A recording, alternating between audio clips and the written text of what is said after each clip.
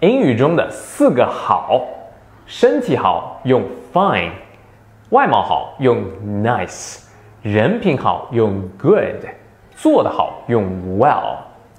My mother is fine，我妈妈身体好。The girl is nice，这个女孩相貌好。This is a good teacher，这是一个好老师。You did this job well，你这事儿办得不错。学会了吗？